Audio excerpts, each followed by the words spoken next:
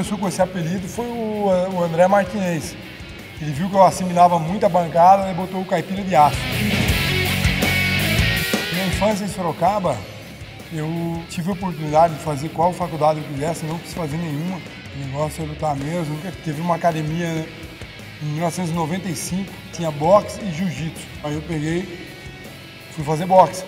Um professor de boxe na época, o Lucas França, que tinha parado o boxe, voltou a dar aula, um atleta olímpico. Ele foi para Olimpíadas em 92 e retomou as aulas em 96. Eu fui algumas vezes, mas a academia mudava muito de lugar. Em 97 comecei a treinar mesmo. Aí com quatro meses de treino no boxe amador, fiz a primeira luta minha em 1997 em Bragança Paulista. Minha mãe nunca apoiou, nunca. É, agora, ora por mim, eu aprendi a minha mãe sempre orar antes das minhas lutas.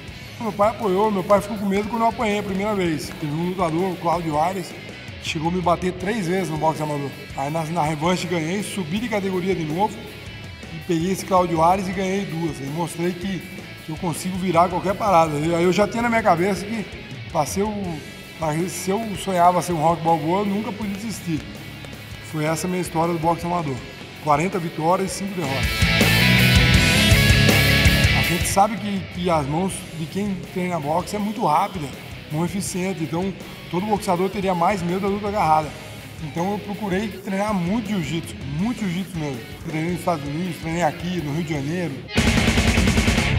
A luta com o Miotite é, apareceu muito rápida para mim. Quando o UFC me perguntou se eu poderia cobrir o card, eu respondi, não, deu dois segundos, eu respondi que sim.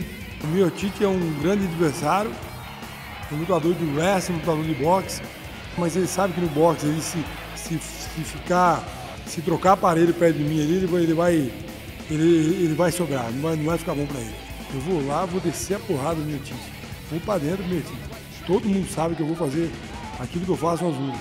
E o castigo dele, o castigo que o Miotite vem trazer para mim, se der tudo certo para ele, dois, três rounds, eu suporto e ele vai passar o inferno comigo no quarto e quinto round.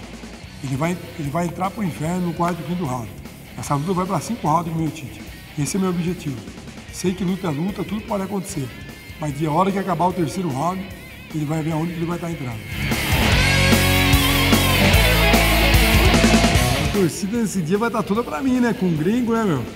Né? Pegando, pegando um americano grande desse, bem maior, mais forte, mas e americano ainda, todo mundo vai vai torcer para mim ali, vai, é, vai vibrar comigo, vai chorar comigo. Acredito eu que, que vai ser uma luta muito empolgante. A torcida vai gostar.